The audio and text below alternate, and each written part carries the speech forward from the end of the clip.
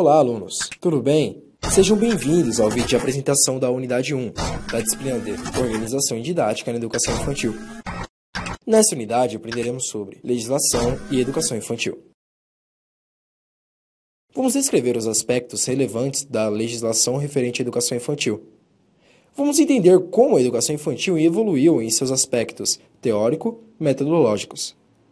Vamos compreender também como a educação infantil se relaciona com a criança e seu contexto social e político. E, com isso, vamos perceber os avanços e as dificuldades enfrentadas nas instituições de educação infantil. Vamos refletir como a legislação potencializa o enfrentamento do atual cenário pedagógico. E vamos conhecer as Diretrizes Circulares Nacionais para a Educação Infantil, conhecido como DC-NEI.